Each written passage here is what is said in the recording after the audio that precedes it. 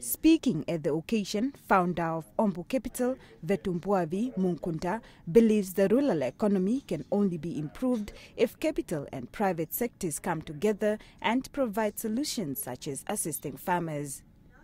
The public, the private, and the social sectors together.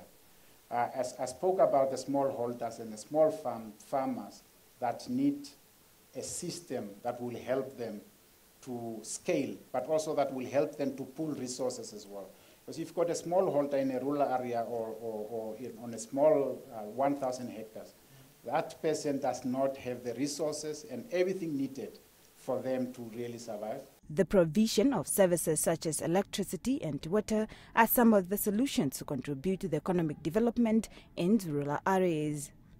The Minister of Finance, Ipumbu Shiimi, says that as soon as the land bill is finalized, it will be easy to create jobs and eradicate poverty in rural areas. The land bill, unfortunately, is not yet finalized. Um, so I want you to help me when you see the Minister of Lands, please also talk to him that uh, this is a very important part that he, he, he needs to accelerate so that we, we can fix this part. I believe once we, we fix that part, we will then see private capital in care, private capital in, in some of the rural areas, um, especially where you have land and water. And we can, we can see productivity, we can see employment creation, we can, we can see poverty improving.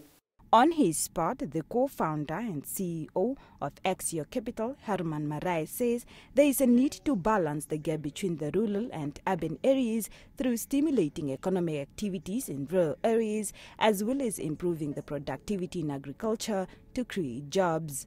The role of agricultural and agribusiness enterprises uh, can be uh, to not only to create livelihoods in rural areas, but to, in a very fundamental and a very lasting way, impact uh, the lives of people from rural areas.